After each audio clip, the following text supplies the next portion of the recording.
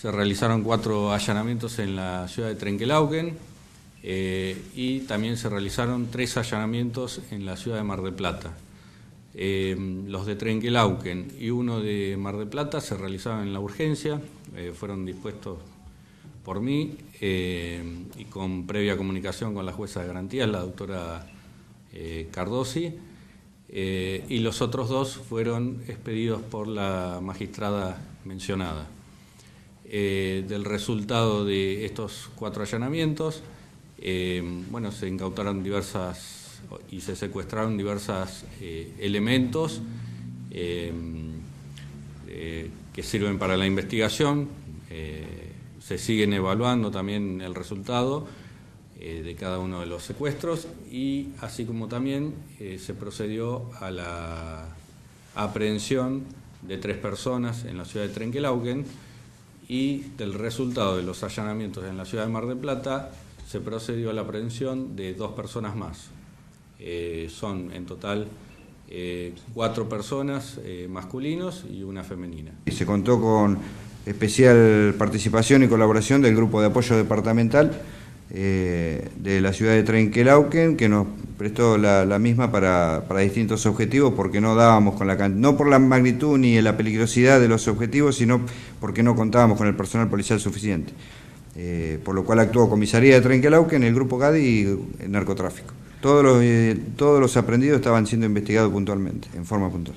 Las personas que están aprendidas son eh, Marcos Ariel Castro, Cristian Alfredo Aro, Verónica Andrea Morrone, y en la ciudad, de, esos son de Trenquelauquen, y en la ciudad de Mar del Plata, que están siendo trasladados en este momento, son Marcelo Oscar Pili y Fernando Juan Bignone, con B corta, Bignone. ¿Son oriundos de Mar del Plata? Sí, sí, son personas oriundas. O sea, lo que nosotros sabemos son gente radicada en Mar del Plata, a la cual, por lo que nos indica la investigación, eh, se dirigía una de las personas involucradas en Trenquelauquen a, buscar el estupefaciente. La mm, investigación no tuvo pausa Hubo complicaciones por el tema de, lo, complejo que fue poder llevarla adelante.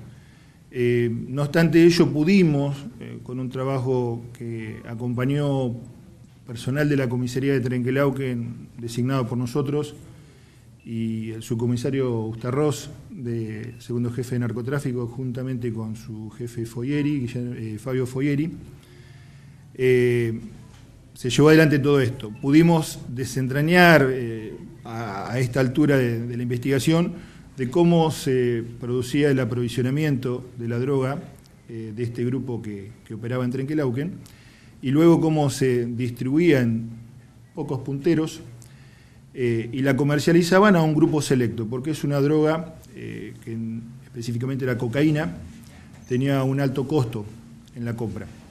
Hablamos de valores importantes. Por lo que nos dicen los testigos y lo que nosotros hemos tenido de antes, eh, dosis de 500, 1000, 3000, hasta algunos hablan de 6000 pesos. Eh, bueno, ya el doctor dijo que eh, las medidas que se tomaron, que fueron la puesta en conocimiento de, esta investigación, que son los allanamientos, se secuestraron elementos que para nosotros son muy importantes.